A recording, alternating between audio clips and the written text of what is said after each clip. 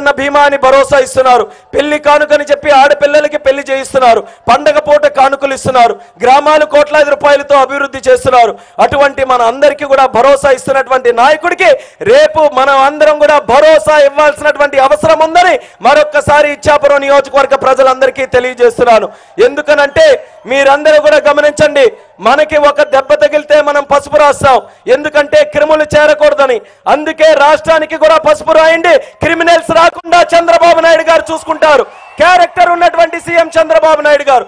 Confidence ఉన్నటువంటి CM Chandrababu Naidu గారు calibre ఉన్నటువంటి సీఎం చంద్రబాబు నాయుడు గారు అటువంటి చంద్రబాబు నాయుడు గారిని రేపు రాష్ట్ర భవిష్యత్తు కోసం మాలాంటి యువకుల తాలూకా భవిష్యత్తు కోసం ప్రతి ఒక్కరం కూడా ముందుకు వచ్చి చైతన్యంతో ఈ రాష్ట్రాన్ని నిలబెట్టాల్సినటువంటి అవసరం ఉంది. ఇంకా చాలా కార్యక్రమాలు చేయాలి. మనం తెలంగాణతో మద్రాసుతో కర్ణాటకతో వివిధ రాష్ట్రాలతో మనం పోటీ పడాలి. అటువంటి పోటీ పడేటటువంటి శక్తి కావాలనంటే దూరదృష్టితో ఆలోచించేటటువంటి నాయకుడు కావాలి. జైళ్ళ చుట్టూ తిరిగే నాయకుడు కావాలా? కోర్టుల చుట్టూ తిరిగే నాయకుడు కావాలా? ముప్పై ఒకటి కేసులు ఉన్నటువంటి ముద్దాయి మనకు కావాలా?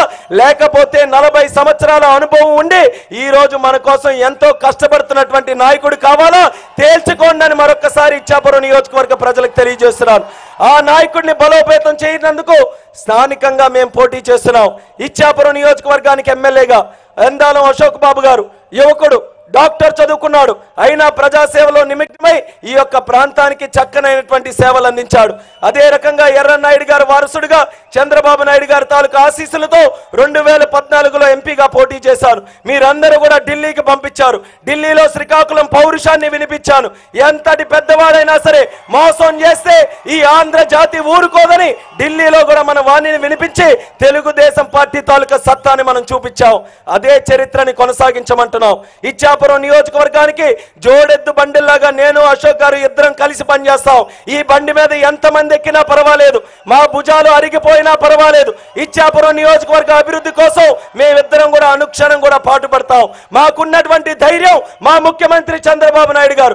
ఎంత కష్టమైన పనైనా అసాధ్యమైనటువంటి పనైనా కొండల్ని పిండి చేసి అది చేసేటటువంటి సత్తా మా చంద్రబాబు నాయుడు గారికి ఉంది కాబట్టి ఆయన ధైర్యాన్ని మా ధైర్యంగా చేసుకొని మీ అందరికీ కూడా హామీలు ఇస్తున్నాం. ఒకే ఒక్క విషయాన్ని మీరు అందరూ కూడా గమనించండి.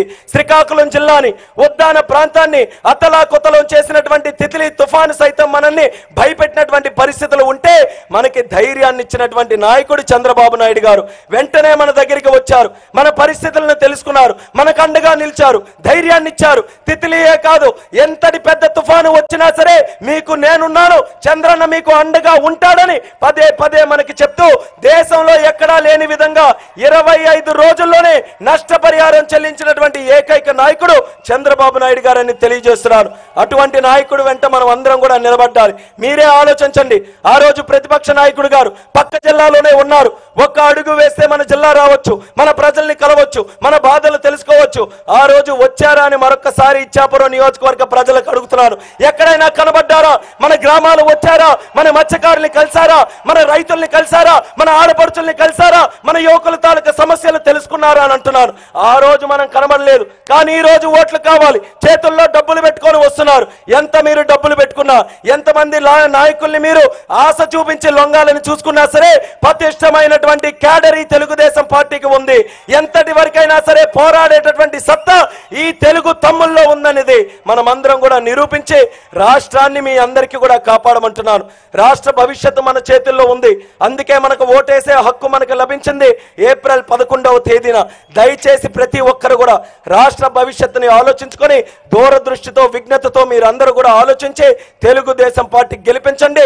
సైకిల్ గుర్తు మీద ఓటు వేసి చంద్రబాబు నాయుడు గారిని మళ్ళీ ముఖ్యమంత్రి చేయడానికి మీ ఇచ్చాపురం నియోజకవర్గం మేము సైతం నిల్చున్నామని చెప్పే విధంగా మీరందరూ కూడా ధైర్యంగా ముందుకు రావాలని మరొక్కసారి మీ అందరికీ కూడా కోరుకుంటున్నాను. మరి చంద్రబాబు నాయుడు గారు డెబ్బై సంవత్సరాలు ఉన్నటువంటి వ్యక్తి నాకంటే చిన్న వయసులో ఉన్నటువంటి యువకుడుగా పనిచేస్తున్నారు నేను ఒక్కరోజు ఆయనతో పనిచేయాలనంటే నాకే అలసట వస్తుంది. పదహారు గంటలు ఆయనతో ఉన్న తర్వాత ఇప్పటికైనా విరమిస్తారనంటే మరొక ఎనిమిది గంటలు ఫ్రెష్గా ఆయన పనిచేస్తున్నారు. అటువంటి నాయకుడిని చూస్తే మాకు స్ఫూర్తి వస్తుంది. ఇరవై గంటలు పనిచేస్తున్నారు. యువకుడుగా ఉన్నాం. మరింకెంత పనిచేయొచ్చని మాకు స్ఫూర్తి వస్తుంది. అదే పక్క పార్టీలో మీరు చూడండి. ఫ్యాన్ పార్టీలో దొంగల పార్టీలో చూడండి. కోడికత్తు పార్టీలో చూడండి. ఆయన నామినేషన్ వేస్తే ఏమనే చేశారు. నా మీద ముప్పై ఒకటి కేసులు ఉన్నాయని నామినేషన్ వేసుకున్నారు. అటువంటి నాయకుడు పార్టీని లీడ్ చేస్తే కిందనున్నటువంటి నాయకులు ఏ రకంగా స్ఫూర్తి పొందుతారు? మా నాయకుడికే ముప్పై ఒకటి కేసులు ఉన్నాయనంటే నా మీద పది పదిహేను ఉన్నా ఏం పర్వాలేదు జనాలు ఏమీ అనుకోరని ఆ రకంగా క్రిమినల్ కేసులతో ఉన్నటువంటి వ్యక్తులు అటు ఉన్నారు. కాబట్టి మీ ముందే అన్ని రెండు చిత్రాలు కూడా ఉన్నాయి.